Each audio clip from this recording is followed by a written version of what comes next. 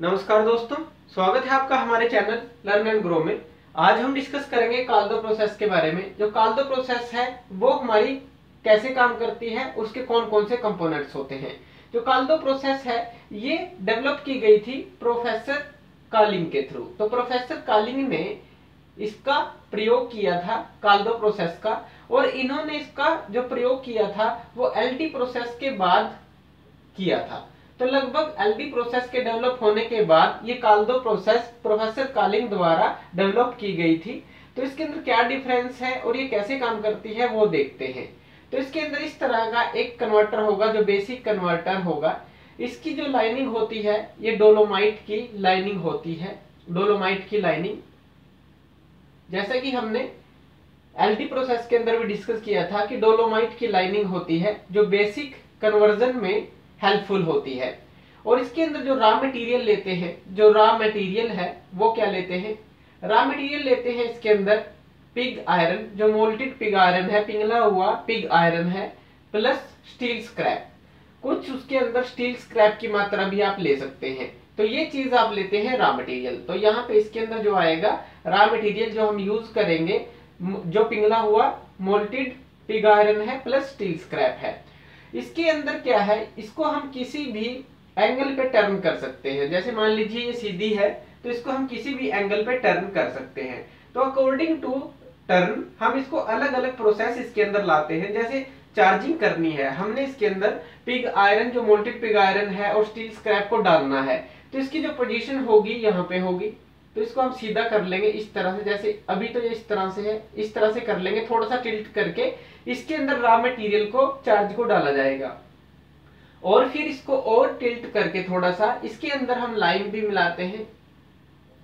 Lime को मिला देते हैं, या कोई और अयस्क जो है इसके अंदर मिला सकते हैं, जिसको हम आयरन और बोलते हैं, वो भी मिला सकते हैं। लाइन को मिलाया जाता है ताकि वो फ्लक्स का काम कर सके।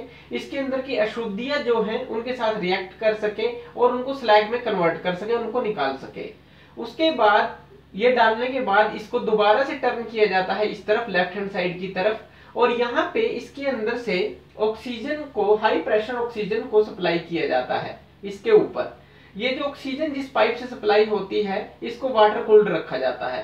तो वाटर सर्कुलेशन इसके अंदर चलता रहता है और ये जो पाइप है, ये ठंडी रहती है। तो इसके अंदर से हाई प्रेशर ऑक्सीजन जो है, वो पास करती है और इसकी सतह से टकराती है। जो हमारा ये pig iron plus steel scrap है या कोई भी आयरन और आपने इसके अंदर लिया है तो आप इसके अंदर डाल सकते हैं। इस पिघले हुए जो हमारा मेटल है, इसके साथ जब हाई प्रेशर ऑक्सीजन टकराती है, इसकी सतह पर तो वो रिएक्शन करती है। तो इस रिएक्शन से क्या होता है? इसके अंदर की जो अशुद्धियाँ हैं कार्बन मैग्नीज सिलिकॉन फॉस्फोरस इस तरह की अशुद्धियाँ हैं तो वो जलकर ऊपर आती हैं और एक स्लैग के रूप में ऊपर जमा हो जाती हैं और उनको बाद में बाहर निकाल लिया जाता है। इसको फिर और ज़्यादा टर्न करके हम किसी भी जो हमारा कंटेनर है, उसके अंदर डाल सकते हैं, उसके अंदर इकट्ठा कर सकते हैं, या फिर इसका सैंपल हम ले सकते हैं कार्बन की परसेंटेज को चेक करने के लिए। इसके अंदर एक रोटेशन मैकेनिज्म भी लगा होता है रोटेशन मैकेनिज्म होता है, जो कि इसको आहिस्ता आहिस्ता इस तरह से रोटेट करता रहता है। तो इससे क्या है, जो अच्छी तरह मिक्सिंग हो जाती है हर एक चीज़ की इसके अंदर तो रोटेशन मैकेनिज्म यहाँ पे लगा होता है जो इसको आहिस्ता आहिस्ता रोटेट करता रहता है। तो ये भी इसके अंदर एक डिफरेंस है, अगर एलडी प्रोसेस से देखें तो आहिस्ता आहिस्ता इसको रोटेट करते रहते हैं।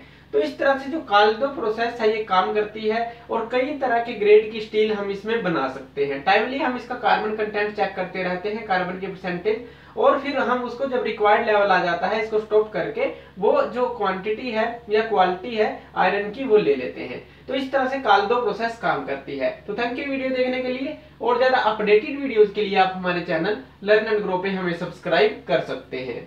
Thank you